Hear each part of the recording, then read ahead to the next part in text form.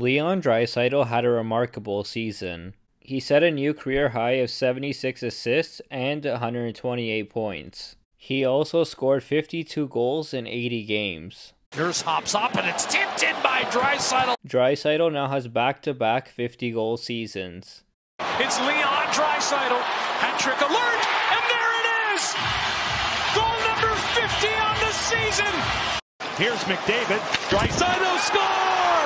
He also had 18 points in 12 games in the playoffs, and he was able to score 13 goals in 12 games. One touch, give and go. Draisaitl backhander scores. The last person to get 128 points in a season was Nikita Kucherov in the 2018-2019 season. Before that, it was Lemieux in the 1995-96 season with 161 points. One timer, Draisaitl scores. McDavid to Draisaitl, he shoots and scores. This truly shows how amazing Draisaitl's accomplishments are to establish himself as one of the best goal scorers and playmakers. Two on one. Draisaitl looking for victory. McDavid back to Draisaitl. That's it. Game over. Draisaitl was once again a big game changer for the Oilers. McDavid, Draisaitl shoots and scores. Inside Nugent Hopkins, one-timer score. Leon Draisaitl. Draisaitl and McDavid for sure established themselves as the best duo in the NHL.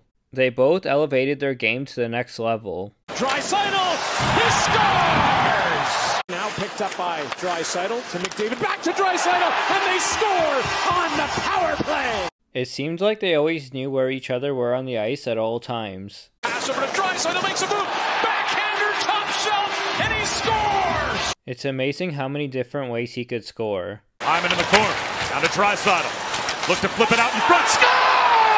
A carom home! It seems like he can score from any angle. McDavid, the pass, and a goal from Leon Draisaitl. Draisaitl was especially unstoppable on the power play. Back to pass over, and a goal for Draisaitl! Draisaitl has only just entered the prime of his career. The chance, and a goal! Leon Draisaitl! Three on one, McDavid swooping, one-timer score!